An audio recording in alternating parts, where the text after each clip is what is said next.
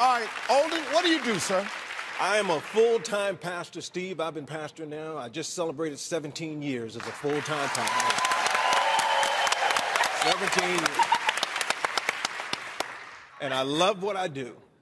But Yeah. every single day of my life, people come up to me and call me Steve Harvey. Yeah.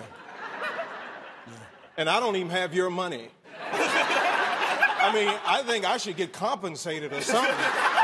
I mean, don't you think? I mean, I haven't signed your name. Well, no, maybe not. No, don't go there. Don't go there. Well, I will But I'll tell you something, Pastor. It ain't a bad deal, man. If I had somebody, man, you look like me. Damn. I'm actually looking at it and go, he actually, actually, you know what, really, I really hate to say this.